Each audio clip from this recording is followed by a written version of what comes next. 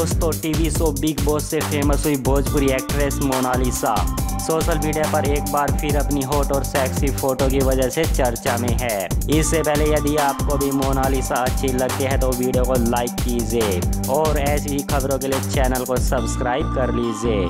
Mona Lisa ने Instagram पर अपनी बिकनी तस्वीरें शेयर की हैं, जो उनके फैंस के बीच देखते ही देखते वायरल हो गई हैं।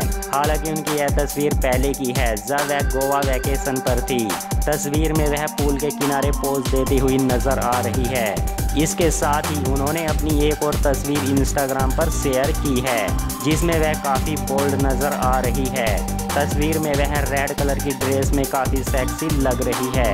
उनके चेहरे पर कातिल एक्सप्रेशन उनके लुक को काफ़ी बेहतरीन बना रहे हैं। बता दें कि मोनालिसा भोजपुरी और साउथ की कई फ़िल्मों में काम कर चुकी है।